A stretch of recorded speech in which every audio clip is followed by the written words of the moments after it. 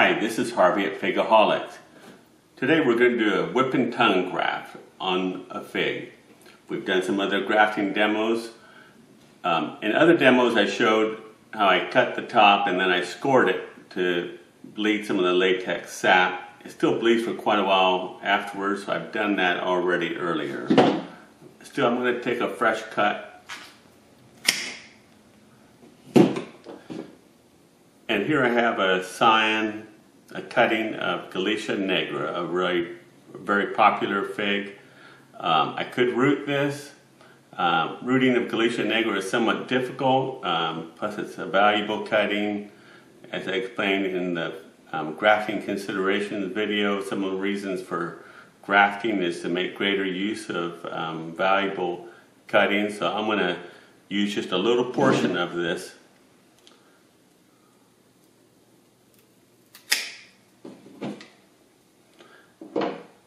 There's a bud here and a bud up here. Um, hopefully both will grow. I'm going to make a clean cutting on the bottom. This cutting's been in refrigeration for three months, but it's still fresh.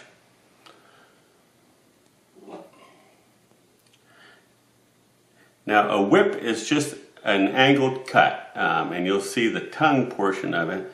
Now as I mentioned in one of the other videos, I look at this bud, I want this bud to be growing, so I'm not going to be cutting that off. I'm going to be cutting on the back side of it. One thing when working with small pieces like that, it's a little bit less to hold on to, it's a little bit more difficult.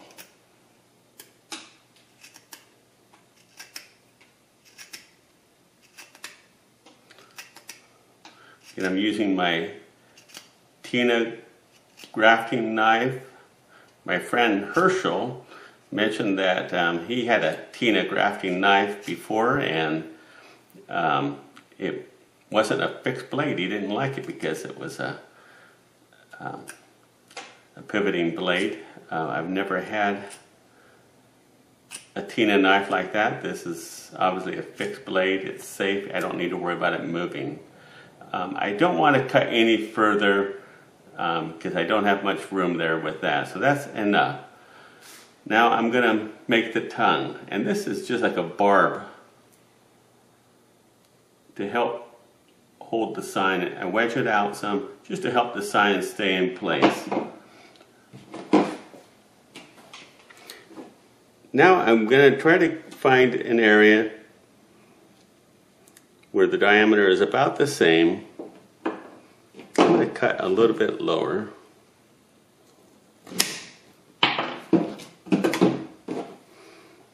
Now here, if I cut too much, I might find that my diameter is too much, so I'm gonna just cut a little bit at a time. I might have even gotten a little bit too much there. Now I can go a little bit more.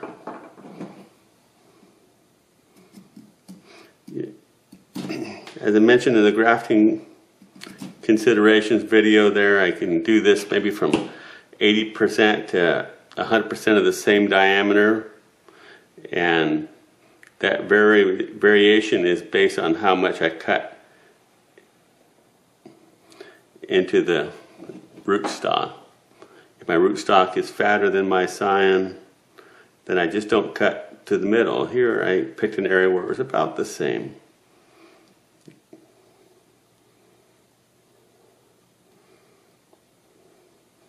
Again, this is just to help the scion hold into place. Now before I put the scion in place, I wrap it because I want it to be stationary. I don't want to be wiggling it around, wrapping it after it's already in place. This is like parafilm. It's um, a different brand that's no longer available, um, but serves the same purpose. So now we're placing the scion and that tongue, again, just helps it hook on so you know, I can let go and hold. Now, one thing, they're not um, always the same thickness all the way, so I try to match both sides somewhat. If it doesn't match perfectly, one side can still grow and catch up to the other, I found. Not always, but one thing, it, it looks like it'll match here, but not up here. But on this side, it is matched all the way up. If we have long, straight scions, um, it makes it a lot easier, but I'm working with material that I have and trying to make the best of what I have.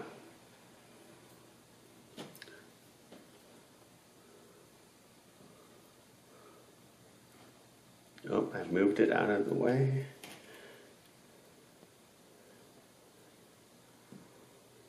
Push it down a little bit harder. Again, working with a small area again. Try not to cover the bud with rubber band. Just double check again.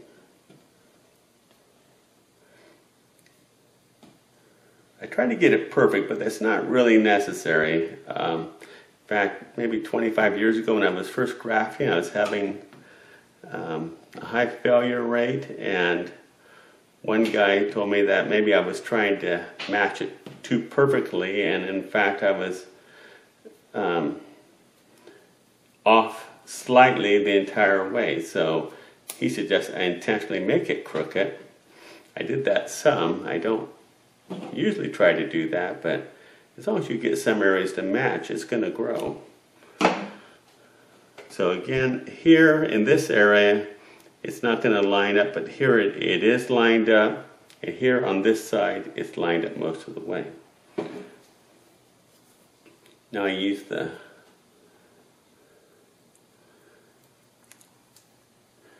parafilm, Nesco film, again to wrap over the union.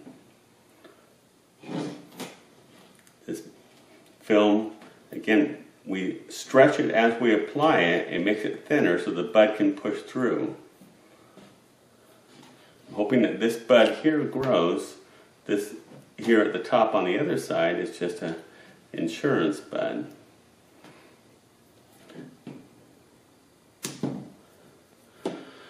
So you can't see through the film too well, but you can see, um, ideally you'd have a whipping tongue and it um, would come up completely, so it'd be one flat stick. But again, I'm, I didn't have that much room below this bud to do that, so I, I did that.